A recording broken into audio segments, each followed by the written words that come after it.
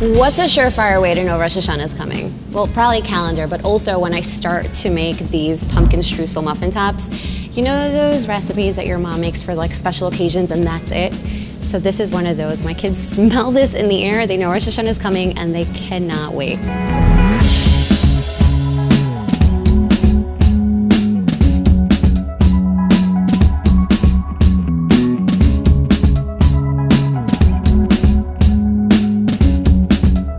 Because it's Rosh Hashanah, we want to sweeten these up a little bit more so we can have a happy sweet new year. We're going to actually make a streusel topping first. So we've got some flour here. It's really, really basic. We have some sugar.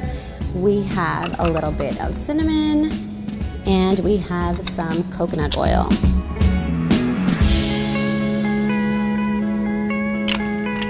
You want to just mix these up with a fork until you get a nice kind of shaggy crumb.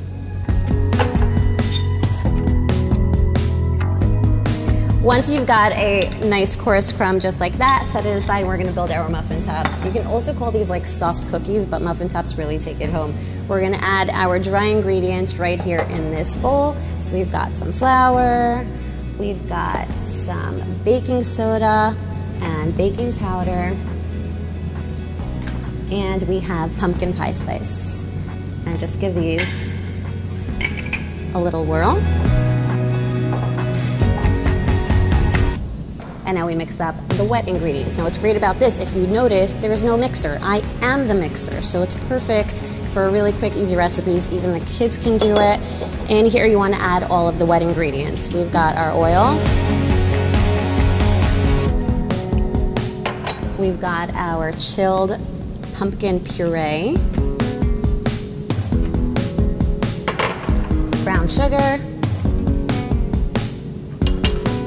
Egg.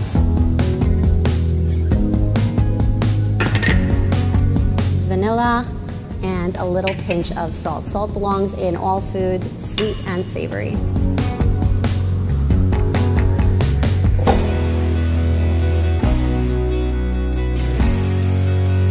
Now that our batter has come together, we're gonna go ahead and portion it out onto a parchment lined baking sheet and pop it in the oven at 350 degrees.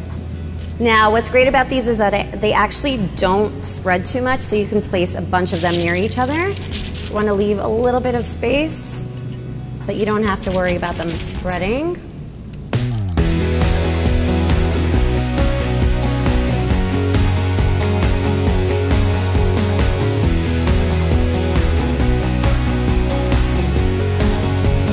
And now we top them with our crumbs. And you just want to sprinkle them right over the top.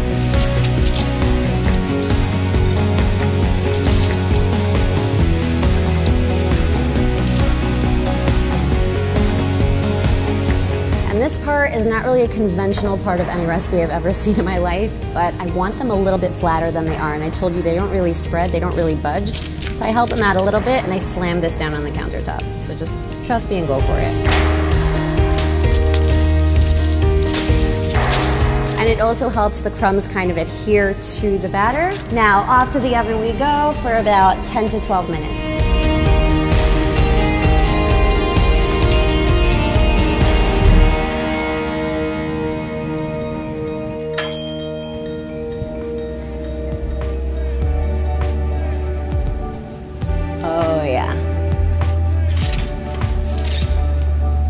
Oh my gourd. These smell so good. Honestly, I'm surprised my kids haven't come into this kitchen to grab them.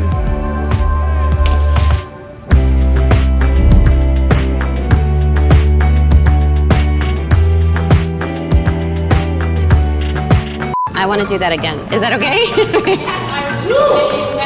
no, I hated that. See, again, I'm sorry, one more time. What noise? From what? Here, I'll hold this. How much does this weigh? No, no, no. I got it.